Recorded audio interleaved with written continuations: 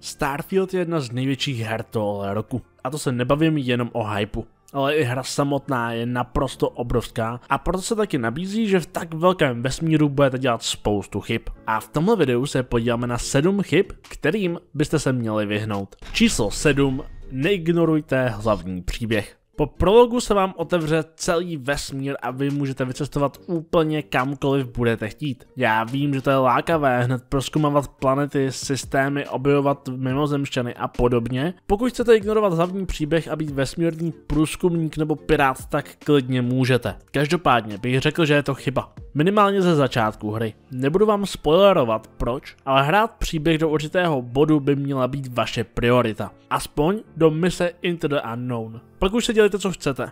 Neřeknu vám proč, abych vám neprozadil příběh, ale počkal bych s proskoumáváním světa aspoň do téhletý mise.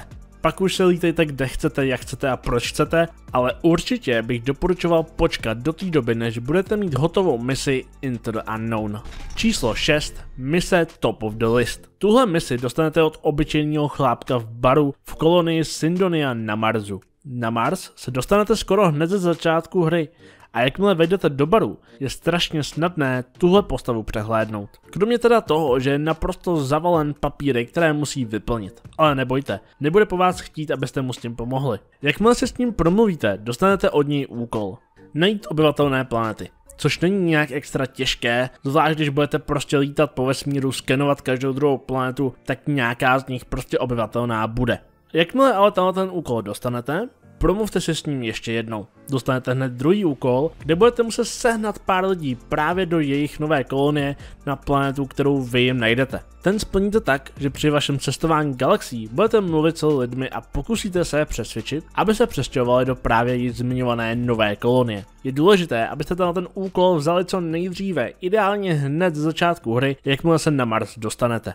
Číslo 5. Nevylepšovat si svoji loď. Ze začátku hry dostanete úplně obyčejnou loď. Stačí na nějaký základní kombat, cestování po vesmíru a podobně. Ale jakmile budete moct, ukradněte si lepší loď. Ideálně od nějakých pirátů, kteří se snaží sestřelit vás. Ale je důležitý nekrást jen tak nějakou obyčejnou loď, ale ukrást si loď vyšší třídy. Většinou je poznáte tak, že mají více štítů a životů a že jsou označený hvězdou. Můžete si pochopitelně základní loď vylepšit, ale přijde mi to jako škoda času a hlavně peněz. Protože si můžete takhle nějakou lepší loď velice snadno přivlastnit. Stačí, když lodi vyřídíte motory a můžete se na ní nalodit. Zabít posádku, sednout do kokpitu a jakmile s novou lodí přistanete do nějakého vesmírného přístavu, bum, loď je vaše. A vaše stará loď sám automaticky předá do flotily, takže o ní nepřijdete. Tenhle postup bych doporučoval hned ze začátku hry. Nevylepšovat si svoji první loď, nechat ji tak, jak je, a pokud možno si sehnat nějakou, nebo spíš teda ukrást, pardon, ukrást si nějakou lepší loď a tu až si po případě vylepšovat.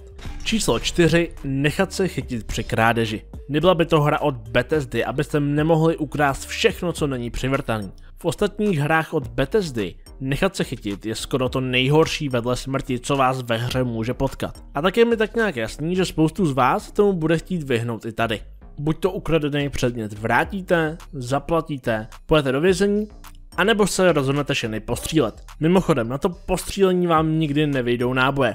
Věřte mi, zkoušel jsem to takže na to pozor. No a nebo rovnou načtete poslední uloženou pozici. Každopádně, ve Starfieldu je naopak dobře, pokud vás zatknou, protože jedině tak se budete moct dostat k frakci Crimson Fleet, což jsou takový vesmírní piráti. Jakmile se necháte zatknout, dostanete se na loď United Colonies. A to se potom změní v infiltrování Crimson Fleet. Zároveň to neznamená, že jakmile se tam dostanete, jste zavření, nebo že automaticky patříte do Crimson Fleet. Svoje připojení k frakci můžete odkládat jak to budete chtít ale určitě bych vám doporučil se přidat, protože mise týkající se frakcí jsou super zábavný a vždycky dostanete zajímavé odměny.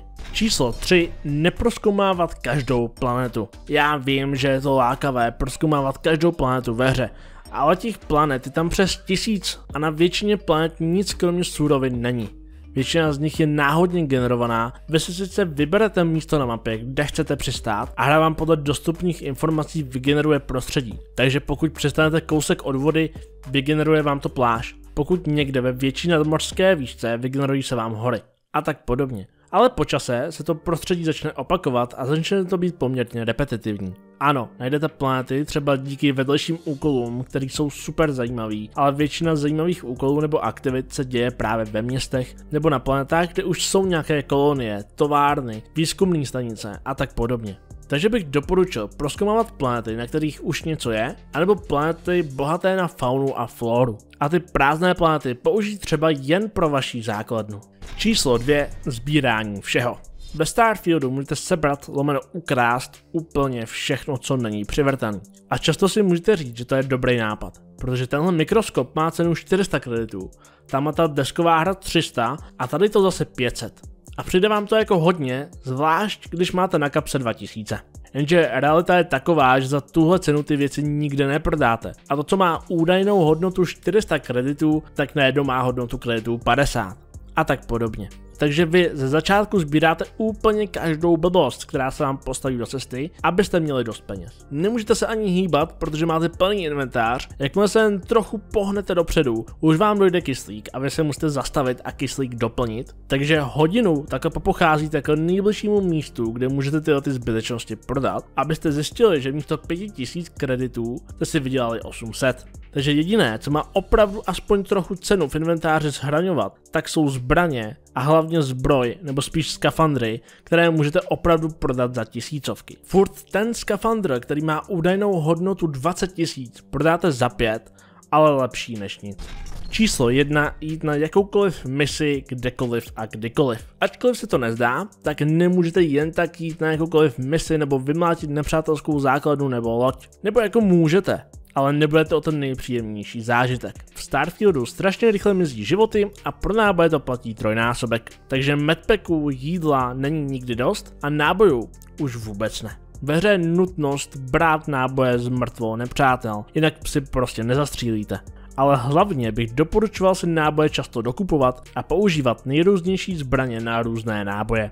Abyste pak neskončili tak, že budete nepřátelé pižlat sekirkou. Jako pokud si zvolíte, že budete používat hlavně kontaktní zbraně, tak můžete, ale když svoje skill pointy vkládáte do střelných zbraní, do kterých pak nemáte náboje, tak to není úplně ideální. Takže 100% se zásobit nábojema a nechodit na mise nebo planety, kde je požadovaná větší úroveň než máte protože jinak budete neustále na suchu, ať už co se týče nábojů nebo životů. Ono ze začátku hry se zdá, že máte všeho hodně a nikdy vám nic nedojde. Ale jakmile se hra trošku rozjede, budete nemile překvapený, jak málo toho vlastně máte. Každopádně, tohle bylo 7 chyb, který nedělat ve Starfieldu, který mě se ze začátku povedl celkem často dělat. Zajímalo by mě ale, jestli jste na tom byli stejně, jestli jste ty chyby taky dělali, anebo vám tohoto video třeba pomůže v tom, když jste ještě Starfield nehráli a budete, abyste se tím chybám vyvarovali. Když tak všechno tohle, to mi prostě můžete napsat dolů do komentářů. Já vám moc krát poděkuji za sledování, jste naprosto boží, děkuji moc všem za veškerou podporu, mějte se krásně, užívejte si zbytek dne a zatím čus.